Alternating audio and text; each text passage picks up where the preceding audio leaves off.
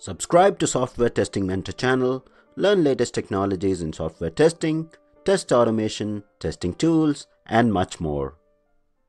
Hello friends, welcome to second tutorial on Cucumber BDD. In this tutorial, we will learn how to install Eclipse IDE before you actually start writing scripts in Cucumber BDD. So to install Eclipse IDE, just go to google.com and type in Eclipse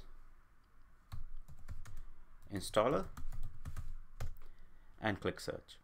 So you'll see Eclipse installer, Eclipse packages. Uh, click on that Eclipse packages link and you will see that it will give you an option to download the installer for Mac OS, Windows, Linux, depending on what configuration you have. It's pretty simple to install Eclipse on your machine. It's it's kind of you just get the installer, relevant installer, and follow the steps given in uh, the Eclipse website. So you first need to download, then you just start the Eclipse installer, uh, select what you want to install. So for example, Eclipse IDE for Java developers, this is what you will need.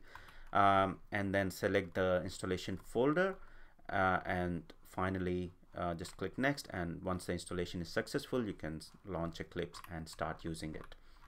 So that is pretty much all about uh, in installing Eclipse. However, I'll create uh, the installer video anyways for installing Eclipse. Uh, just in case you guys face any issues, you can refer to that video in future. So that's that's pretty much all about installing Eclipse. In the next tutorial, we'll see how you can set up the whole uh, Eclipse environment to start writing your BDD uh, or to start learning BDD. Thank you.